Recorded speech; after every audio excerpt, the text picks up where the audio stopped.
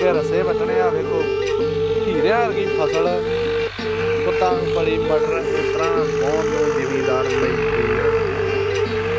ਕੀ 10 ਰੁਪਏ ਦੇ 4 ਰੁਪਏ ਲੇਬਰ ਮੰਗੀ ਜਾਂਦੀ ਆ, ਉਹ ਵੀ ਲੇਬਰ ਨਹੀਂ ਲੱਭਦੀ ਅੱਗ ਕੇ ਕਿਸਾਨ 30 35 ਕਿੱਲੇ ਪੈੜੀ ਆ, ਮਟਰ ਵਾਲੇ ਸਾਰੇ ਹੀ ਅੱਧਾ ਵਾਹ ਦੇਣੇ ਅੱਜ। ਜੋ ਮਰਜ਼ੀ ਦਾ ਜ਼ਿਲ੍ਹਾ ਤਰਨਤਾਰਨ ਦੇ ਅਧੀਨ ਆਉਂਦੇ ਪਿੰਡ ਖਵਾਸਪੁਰ ਦੇ ਕਿਸਾਨ ਲਾਲ ਸਿੰਘ ਨੇ ਆਪਣੀ ਮਟਰਾਂ ਦੀ ਫਸਲ ਦੁਖੀ ਹੋ ਕੇ ਵਾਈ।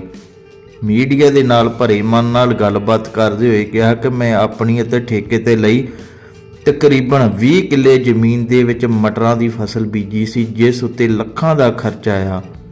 ਅੱਜ ਮਟਰਾਂ ਦੀ ਫਸਲ ਦਾ ਮੁੱਲ ਕੌਡੀਆਂ ਦੇ ਭਾਅ ਹੋਣ ਕਾਰਨ ਫਸਲ ਨੂੰ ਵਾਹ ਦਿੱਤਾ ਹੈ। ਕਿਸਾਨ ਲਾਲ ਸਿੰਘ ਨੇ ਸਰਕਾਰਾਂ ਉੱਤੇ ਦੋਸ਼ ਲਾਉਂਦੇ ਕਿਹਾ ਕਿ ਸਰਕਾਰਾਂ ਕਹਿੰਦੀਆਂ ਹਨ ਕਿ ਕਿਸਾਨਾਂ ਨੂੰ ਕਣਕ ਝੋਨੇ ਦੀ ਫਸਲ ਛੱਡ ਕੇ ਸਬਜ਼ੀਆਂ ਦੀ ਕਾਸ਼ਤ ਕਰਨੀ ਚਾਹੀਦੀ ਹੈ। ਜੇਕਰ ਕਿਸਾਨ ਸਬਜ਼ੀਆਂ ਦੀ ਕਾਸ਼ਤ ਕਰਦਾ ਹੈ ਤਾਂ ਸਰਕਾਰਾਂ ਸਬਜ਼ੀ ਦਾ ਸਹੀ ਮੁੱਲ ਨਹੀਂ ਦਿੰਦੀਆਂ। ਕਿਸਾਨ ਲਾਲ ਸਿੰਘ ਨੇ ਕਿਹਾ ਕਿ ਸਰਕਾਰਾਂ ਨੇ ਕਿਸਾਨਾਂ ਦੀ ਕੀ ਮਦਦ ਕਰਨੀ ਹੈ? ਕਿਸਾਨਾਂ ਦਾ ਰੱਬ ਹੀ ਰਾਖਾ ਹੈ। ਇਸ ਮੌਕੇ ਤੇ ਦੇਖੋ ਇੱਕ ਵਿਸ਼ੇਸ਼ ਰਿਪੋਰਟ। ਕਿੱਡੇ ਵਧੀਆ ਮਟਰ ਆ ਆ 30 ਹਜ਼ਾਰ ਰੁਪਇਆ ਖਰਚਾ ਕਿੱਲੇ ਦਾ ਕੀਤਾ ਵਾ ਤੇ ਡੰਡ ਲੈ ਗਈ ਸਾਰੇ ਮਟਰਾਂ ਦੀ ਨਾ ਕੋਈ ਚੋਣੀ ਲੱਭਣ ਡਈ ਨਾ ਕੋਈ ਰੇਟ ਆ।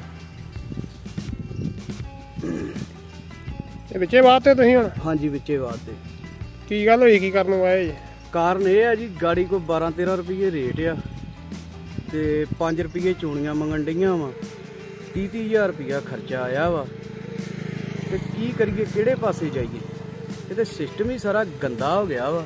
ਜਿਹੜੇ ਕਈ ਹਾਂਜੀ ਕੋਈ ਕੀ ਨਾਂ ਤੁਹਾਡਾ ਤੇ ਕਿਹੜਾ ਪਿੰਡ ਹੈ ਜੀ? ਲਾਲ ਸਿੰਘ ਜੀ। ਕਿਹੜਾ ਪਿੰਡ ਹੈ ਜੀ? ਖਵਾਸਪੁਰ ਜੀ। ਕੀ ਕਾਰਨ ਆ ਜਿਹੜੀ ਤੁਸੀਂ ਪਹਿਲਾਂ ਪੁੱਤਾਂ ਵਾਂਗ ਮਟਰਾਂ ਦੀ ਜਿਹੜੀ ਫਸਲ ਪਾਲੀ ਆ ਤੇ ਅੱਜ ਤੁਸੀਂ ਇਹਨੂੰ ਆਪਣੇ ਟਰੈਕਟਰ ਨਾਲ ਜਿਹੜਾ ਵਾਹ ਰਹੇ ਹੋ ਖੇਤਾਂ 'ਚ ਇਹ ਕਾਰਨ ਇਹ ਆ ਜੀ 12 13 ਰੁਪਏ ਰੇਟ ਆ ਸਾਰਾ। 4 ਰੁਪਏ ਤੜਾਈ ਮੰਗਣ ਡਏ ਆ। ਦੱਸ ਉਹਦੇ ਚੋਂ ਕੀ ਕਰਾਂਗੇ? ਕਿਹੜੇ ਬੰਨੇ ਬੰਦਾ ਜਾਊਗਾ? 29500 ਰੁਪਏ ਇਹਨਾਂ ਦੇ ਖਰਚਾ ਆ ਗਿਆ। ਗਾੜੀ ਕੋਈ ਰੇਟ ਮਿਲਦਾ ਹੋਵੇ ਕੋਈ 4 ਪੈਸੇ ਬਣਨ ਫੇ ਆ।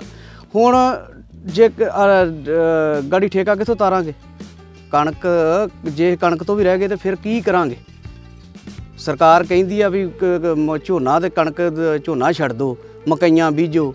ਤੇ ਮਕਈ ਨੂੰ ਕਿਹੜੇ ਬੰਨੇ ਲਾਵਾਂਗੇ ਮੁੜ ਕੇ? ਮਕਈ ਵਿਕਣੀ ਆ 400 ਰੁਪਏ ਨੂੰ ਮਕਈ ਵਿਕਦੀ ਹੈ ਕੋਈ ਕਿੰਨੀ ਤੁਹਾਡੀ- ਜ਼ਮੀਨ ਸੀ ਜਿਹੜੀ ਅੱਜ ਤੁਸੀਂ ਮਟਰ ਵਾਹ ਦਿੱਤੇ ਆ? ਇਹ ਆਪਣਾ ਅਜੇ ਵਗੇ ਦੇ ਆ 12 13 ਪੈਲੀਆਂ।